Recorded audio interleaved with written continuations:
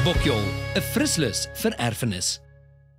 Suid-Afrika se nuutste erfenisjol vind plaas vanaf 23 tot 25 September en dis dis by die Magalies Retreat. So 45 minute se ry net buite Pretoria.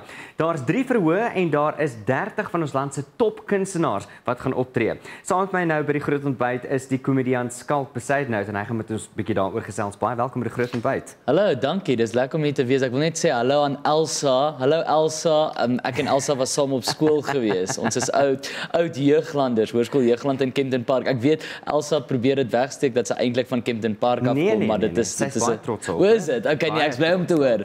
Ek bly om te hoor, want dit sou my baie hartseer gemaak het as dit die geval was. Vertel vir ons van Bokjol en wat is jou betrokkeheid by Bokjol of Bokjol 2016? Ehm um, ja, ek is soort van basies die die die ehm um, offisiële MC van die show so ek is half die gom wat alles bymekaar hou.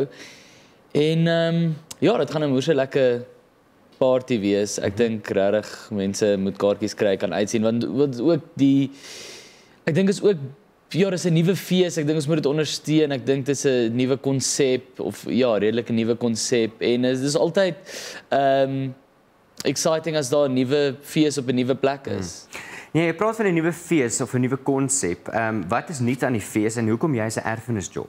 Ja, so die die ding wat nie is sal ek sê is, is half dit is ehm um, dit fokus half op Afrikaanse erfenis maar sonder om uitsluitend te wees, jy weet. Ehm um, dis nie 'n uh, viering van Afrikaanse erfenis wat ons op die voorblad van ehm um, die koerant gaan laat verskyn nie. Jy weet wat ek bedoel. Dit is nou nie so die opening van die Voortrekker monument nie. Dit is net dit is net lekker kuier. Ehm um, dis, dis almal is welkom. Ehm um, ja, en ek dink dit is wat ons nodig het.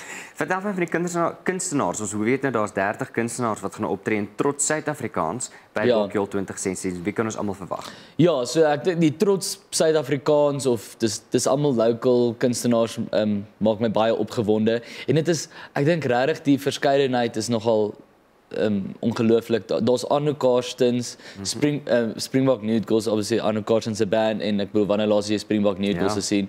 Ehm um, Fransja van Coke en dan Hewels fantasties Jack Barrow, maar dan ook half van die ehm um, ander kant van die spektrum, ehm um, iemand soos Kid Darren Meer en dan sekulêr, ook ja. en dan ook bietjie old school Koos Kombuis. O, ek dink dit is nogal uh, ongelooflike legendes soos Koos Kombuis daar gaan wees.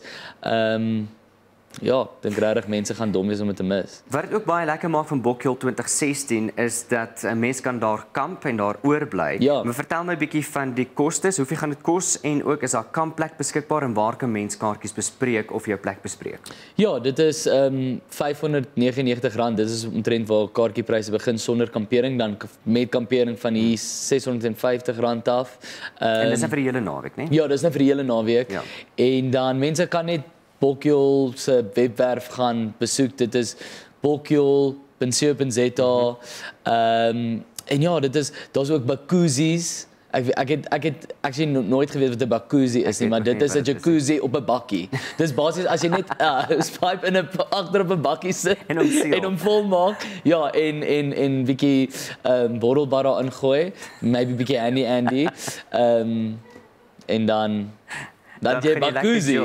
So ons gaan ons gaan lekker Bakuzi daar by By by, Bokjo. Bokjo. Ek gaan my eie privaat Bakuzi, ek gaan 'n bandam daar ehm um, intrek en en Wel, dis alwaar die hele naweek net daar sit. Dankie dat jy by ons kom kuier het en ons Cool, sien jou by. Bokjol 2016. Lekker sien jy daar. Onthou daar die datum, dit's 23 tot 25 September en dit is by Magalies Retreat en jy kan nou jou kaartjies bespreek. Soos jy hoor, Bakuzi, ek sien uit daarna, ek gaan verseker ook 'n draai daar maak. Besoek die webwerf. Boek uh, is eerder bokjol.co.za. Ek herhaal, dis bokjol.co.za vir jou kaartjie.